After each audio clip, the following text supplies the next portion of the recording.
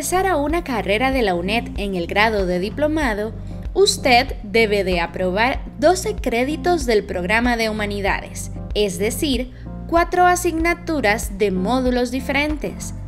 Recuerde que no se pueden repetir asignaturas que pertenezcan a un mismo módulo. Todas las personas estudiantes deben matricular la asignatura Procesos y Estrategias de Educación a Distancia de la Cátedra de Métodos de Estudio a Distancia e Investigación.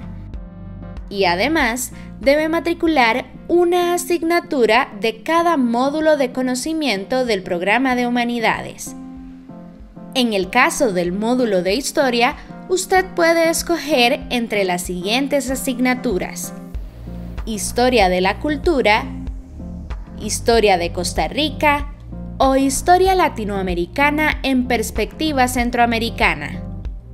En el caso del módulo de lengua y literatura, se puede escoger entre literatura costarricense e identidad nacional, lenguaje y realidad social, y novela hispanoamericana en el siglo XX. Por otra parte, en el caso de filosofía y pensamiento científico, las personas pueden escoger entre ética y política o perspectivas filosóficas de la ciencia. Ahora, al pasar al plan de estudios de la carrera en el grado de bachillerato, se deben aprobar dos asignaturas adicionales en los módulos de Estudios Culturales e Investigación Social y Ambiente.